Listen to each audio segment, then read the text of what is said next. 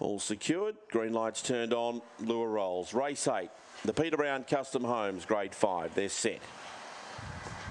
And away, beginning well on the inside was Plum, is trying to hold them all deep, but coming over was Lap Too Far. Lap Too Far led, Seabomb Bale and Plum. Up to fourth was Fortune Master, 2-2 to 2-2.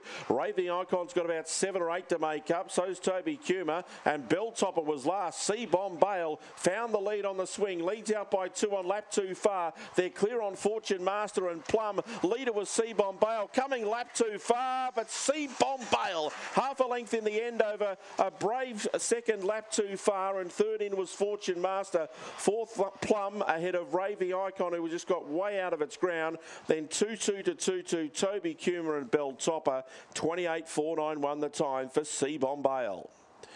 Number six, Seabomb Bale has been able to score. The Ruffy lap too far has run a good race in second, and Fortune Master has got third. Six two eight and one, six two eight and one. The numbers on race number eight, half a length by five and a half. Half a length by five and a half, 668, 1556, 1293, 28 491 the time on the last leg of the quaddy. Seabomb